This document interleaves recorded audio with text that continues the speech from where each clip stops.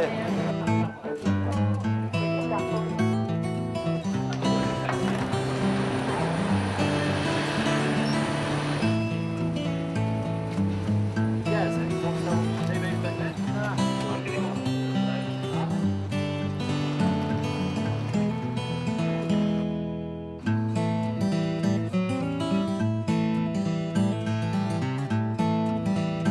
Yeah, just arrived at TIO Stadium. Um, weather's fantastic, the ground's in great nick.